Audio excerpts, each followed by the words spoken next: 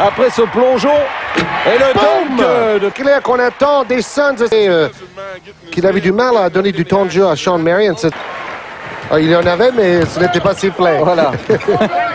L'arbitre a toujours raison. Et là, il y avait peut-être un, un petit marché de Penny Hardaway, non sifflé. Et Oui, il est chaud comme un bon barbecue de Houston, hein, parce Ouais. qu'on mange bien le barbecue là-bas. Ah, il commence à défendre un petit peu plus Hardaway sur euh, Steve Francis. Sur le pivot de Houston. Généralement, c'est le point faible de Phoenix. Ah oui, joli. Ballon et euh, le public est toutes les semaines.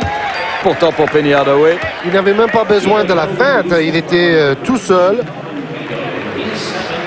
Il joue gros quand même cette saison, Anthony Hardaway, après ses, ses dernières quêtes aujourd'hui. Qui mène au score. Quel paradoxe.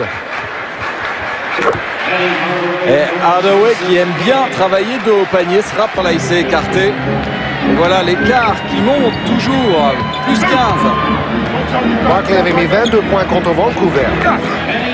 Voilà le premier panier euh, de ce troisième carton pour euh, leur cadence aussi. Ils ont beaucoup de tirs et beaucoup d'opportunités de marquer.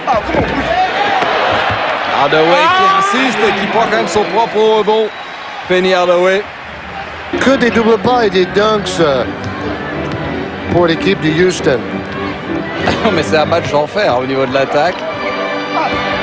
Anthony Hardaway avec une faute. C'est Houston. La clé, c'était Kelvin Cato. En tout cas, il est rentré sans aucun complexe comme un starter. Il a débuté deux minutes.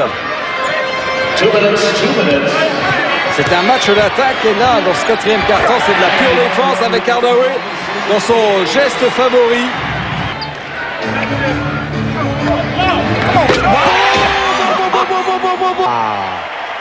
Et Jason Kidd pour Barclay, 5 pour Gugliotta. Et enfin, sous l'œil de Mark West et d'Oliver Miller.